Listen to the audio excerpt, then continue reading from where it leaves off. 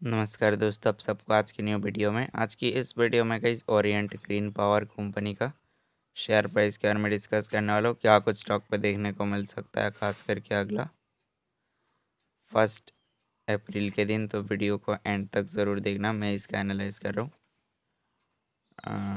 Daily chart पर analyse कर रहा हूँ। अब यहाँ से अगर देखोगे तो जैसे कि देख सकते हो स्टॉक इस ट्रेड लाइन पर काफ़ी बार सपोर्ट लिया था, कुछ इस प्रकार से चला। तो यहाँ से स्टॉक आगे और भी अच्छा खासा रैली कर सकता है। तो इसका सबसे पहला स्ट्रॉन्ग सपोर्ट देखा जाए तो 18.50 पे है, पहला काफ़ी स्ट्रॉन्ग सपोर्ट अगर इसका ब्रेकडाउन आता है, तब इसका अगला सपोर्ट फॉलो कर सकते हो। सेवेंटीन पॉइंट नाइन्टी पे है। रेजिस्टेंस को देखा जाए तो इसका कैसे यहाँ पे ट्वेंटी पॉइंट थर्टी पे है पहला रेजिस्टेंस लेवल।